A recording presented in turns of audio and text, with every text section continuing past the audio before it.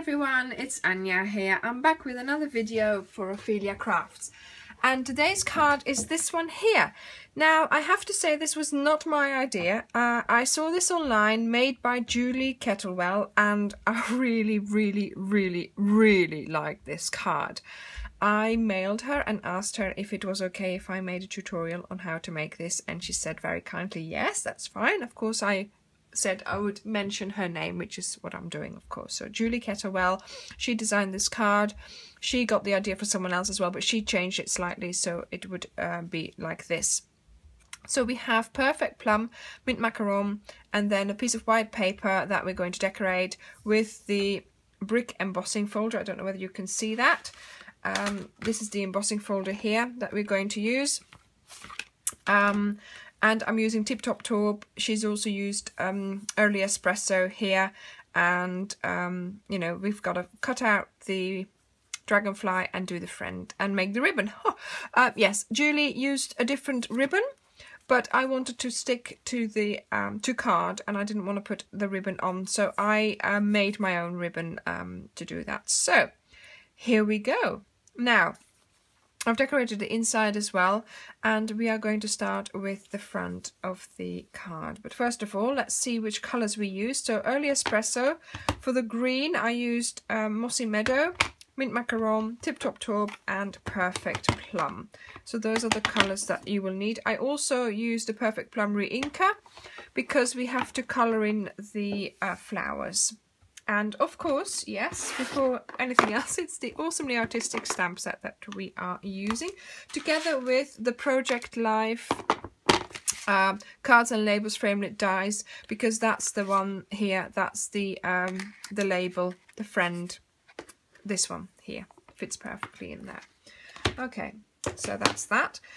Now I have made a start because it's otherwise it would uh, take a little bit too long to make the cards. So you start with, let me just show you here. This is a base card, uh, A4 cut in half, scored in half. Okay, so that's what putting to the side. Then we have the first mat, which is mint macaron, to go on there. And then you have a piece of white paper and you stamp on those uh, flowers, this one here in early espresso. And then we need to colour that in and the way we are going to colour that in is using um, a brush and I've got a little pot of water and I'm just going to show you how I coloured that in. I'm not going to do all of them because that's the only bit I still have to do so don't worry it's not going to be boring. So we have here the re-inker. I just put one drop in the lid.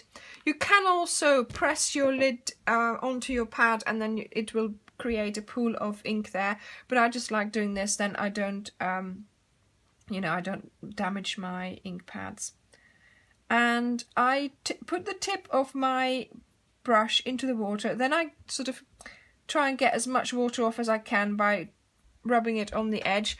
I'm not using aqua paint because that's it's just too watery. I, I, I still want to see the actual um, perfect plum colour. Now you might think, oh, that's very dark. Well, I am starting with a, a, very little amount of water in my brush and a lot of colour because I'm going to do, obviously, I'm going to start with the darker bits. And um, the darker bits are the ones that are already shaded in. And then I go on to the lighter bits. See, now it's a little bit lighter, just to give me that uh, variation of colour. The more you do, the lighter it will get.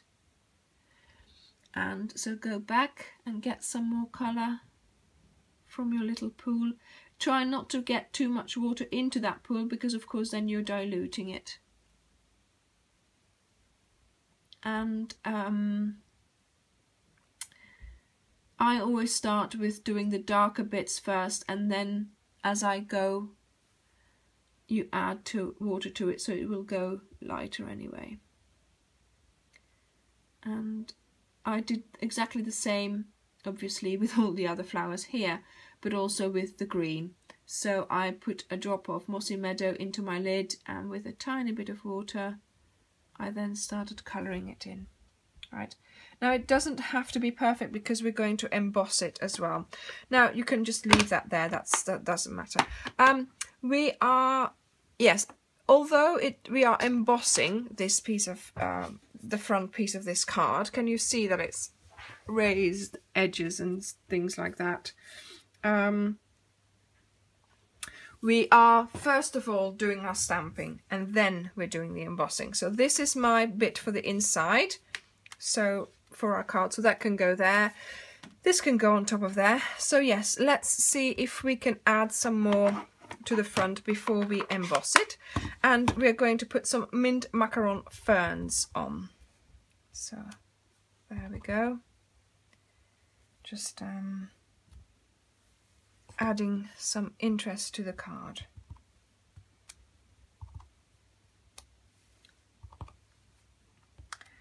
And doing some some two, second generation stamping. There we go. What do you think? Yeah, I think that's okay. Maybe one more there.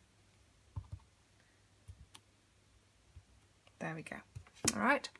And now we are going to put all this to the side and we are ready for our embossing folder. So how do we turn it from this colour into this, obviously, because that's not white anymore.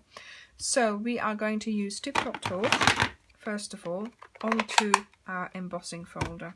Right, so we want the joints to be coloured in, and that's how we are going to do it here. So get the embossing folder with the with the brand Sizzix towards you, okay? This is going to be going into the joint. So these are the joints. So we need to colour the this in. So put your ink pad across the embossing folder and don't worry you can just um, clean this off later on and I don't mind about putting too much on. Right, so there we go. Then, first of all, let me just uh, put my Big Shot on tab 2. We are going to put this down on this part here and we're going to close the embossing folder and put it through the Big Shot. I know I'm out of the picture, but I'll keep talking. oh, I don't think I'll be able to put this in here. Yeah, there we go, that works. And just roll it through. And, oh, well, let's roll it back as well. oh dear. And then we end up with this. So let me put this out of the way. And let me check that I'm still in the picture. Yeah. And then we have this. See? And it looks as if, you know, you've got your bricks with the joints which are darker. But of course, at the moment, we've got white bricks. That's not what we want, really. We want a little bit of a, you know, wall colour, basically. So we get our sponge out. And if you have, like, bits like that, it doesn't matter because the wall isn't always clean. So we're going to really go for it and sponge it really well. Even going over the flowers because that will help with the whole look of the card.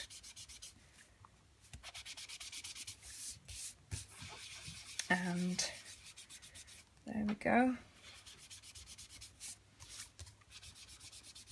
I mean, you can do as much and as little as you want. If you if you want more, um, colour in the joints, you could go um, and use your pen and just go into the joints, joints uh, to make them darker, but I think it's okay. Okay, so there we go. That's that. So that can go to the side. That's one more. Oh, no, hang on a minute. I've just seen a little part here that hasn't, it's too white. okay, a little bit more colour in there. Okay, so that's one more part of our card finished. Now we need to do all our bits here. And I had some paper ready for that. had being the operative word. so let's see if we can do this one here. So into Perfect. Why have I got so little space? Oh dear. Perfect plum. Nice little dragonfly there. There we go. And then we need the tip top top. No, we need the mint macaron. Really? Uh, am I awake today? I think so. ah, okay, and we need a perfect plum friend in there. Try to get it straight. There we go. And again, uh, we're going to cut this out with the Big Shot. So let me just quickly do that. We'll put it on tab two. This one goes in, this one goes on top of there. And then if you have a magnetic platform, do use that because it will keep it into place easier. And I'm just rolling it through now. There we go. That was that.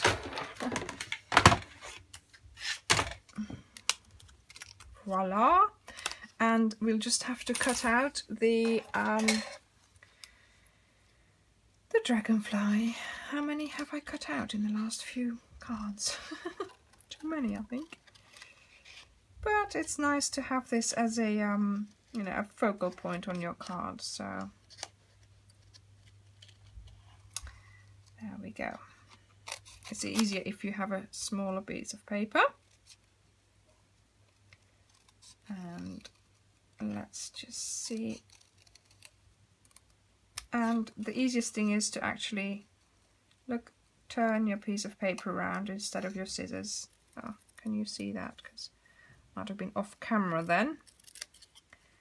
Okay, so that's that. And once again, um, they're white paper so we're going to have to go into the Tip Top Top and make them a little bit more Tip Top Top.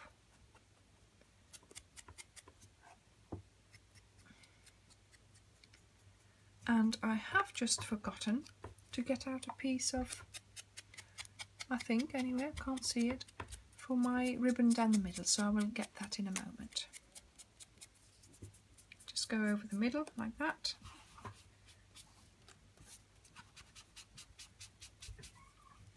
Okay, I have found a piece of ribbon for the middle and let me just put some of these things to the side because this is getting ridiculous, isn't it? The minute you start stamping, all your work surface is full up.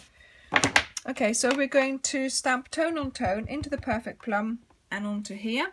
This one is a little bit wider than the actual stamp, so you might need to stamp off, off, off the edges here. And I'm trying to look underneath the stamp so I can see where I'm stamping.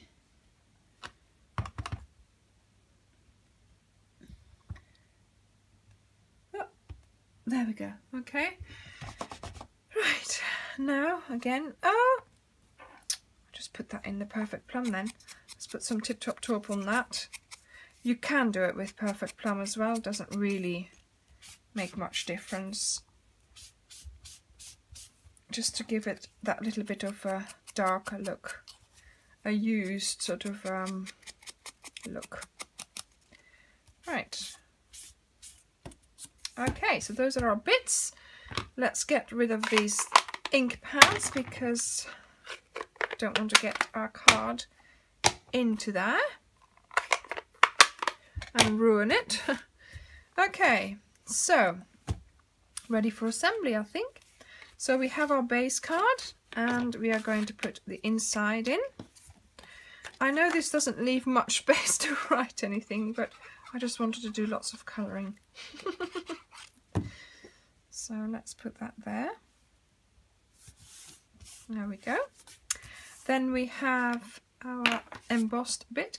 Now, as we've got lots of raised edges here, you need to make sure you put quite a bit of glue on so they actually touch the piece of paper that you're putting it on.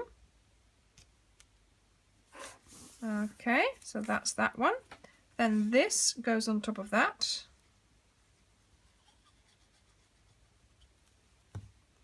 Just about sort of there.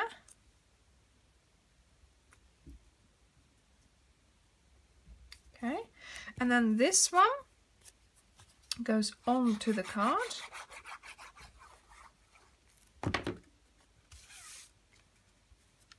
There we go. I just kept looking. When I made this card the first time, I had it on my desk and I just kept looking at it. Couldn't help it. I just, I loved it so much. Okay, now we need some dimensionals. And you know what? I had them just now. And I've put them away. Of course, why not? okay, let's use these up. I've got so many going. Okay, we have two here. On this one here and I'm just going to put that in the middle of our ribbon and then one in the middle here of the dragonfly. You can't see it. I just cut it out big enough. And I'm just going to put it sort of well it doesn't matter where. You can just put it wherever you like. Now I've made this card again using a butterfly from the Butterfly Basics um, dies, you know, the butterfly framelits, and that's nice as well because that gives you, um, you know, and a different uh, take on this card. I've lowered the ribbon and I've changed the colour around. See, it's um, this one is Tip Top Taupe card. what am I saying? Why am I calling Mint Macaron Tip Top Taupe? It's Mint Macaron card, and this is Perfect Plum card. So I've swapped it around, and then here I've done another one with. Uh, Rich Razzleberry and uh, Mossy Meadow and lots of Tip Top Top and I like this one as well. Haven't finished it yet because I I have I don't know where to put the don't know what sentiment don't know where to put the sentiment so I'm just keeping it like this for now. It's it's a happy birthday or a get well soon or whatever. Um, could use it like this as well. No, you can't because the bricks. Of course. Of course you can't move it around because of the bricks. So this was in this direction. I've got to do a, a, sentiment for that and I'll let you know later on which one I chose. So thank you very much for watching. I hope you enjoyed this and go and try it out. Bye.